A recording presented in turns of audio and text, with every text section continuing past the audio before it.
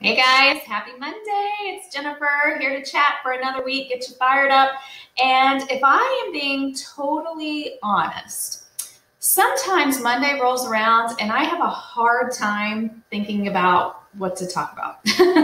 and so, what I wanted to do this week is I've been interviewing all these top producers, and it's just funny how the same things keep coming up with every single one of them. And basically, what I've done for you this week is I have boiled it down to three things.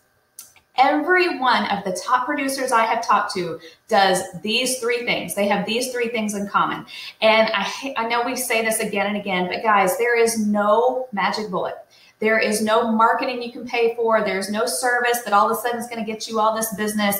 Then chasing the next shiny thing is not going to do it. You have to do these basic three things. If you just focus on these three every morning when you wake up and you think, I don't know what to do, do these three things. You will be successful. I promise. These are the things I have noticed from every top producer I have talked to. Number one, they go into the office, they stick to a schedule and they treat it like a real job. We can't say this enough. I know that the flexibility of this job is amazing.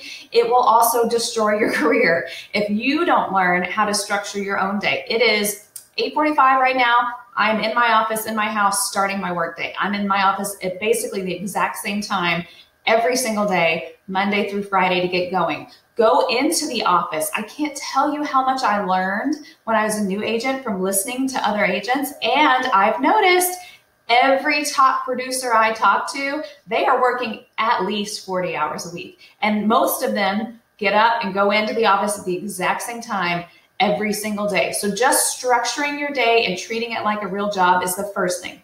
The second thing, and this might be, please hear me on this one if you don't hear anything else. Every single one of them engages with people face to face every single week. So that's prospecting, but I'm not talking about prospecting where you are texting or calling or you're sending drip email campaigns.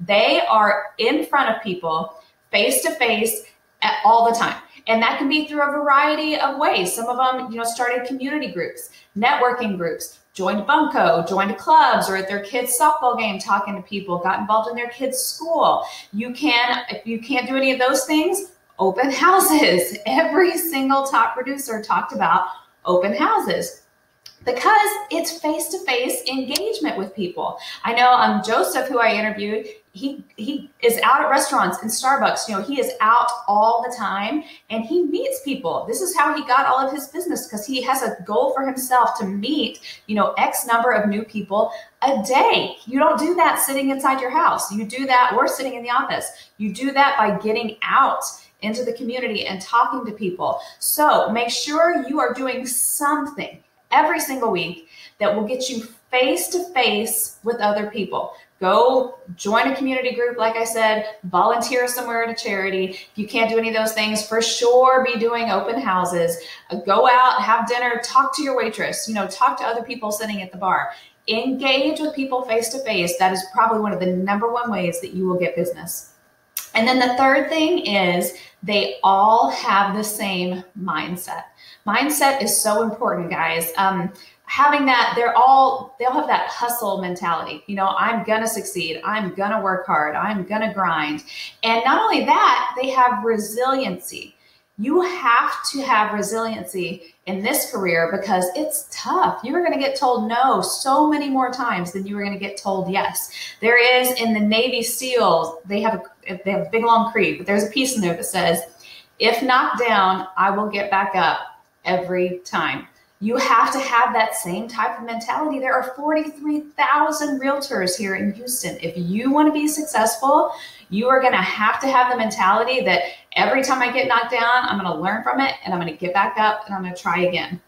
Almost all of the top producers I talk to have had that kind of mindset. They have talked about how I failed at this and I failed at this and I failed at this. And every time they learned from it and they got better and they kept going. So, those three things, guys, schedule your day, treat it like a real job, engage with people every day, every week, face to face, preferably.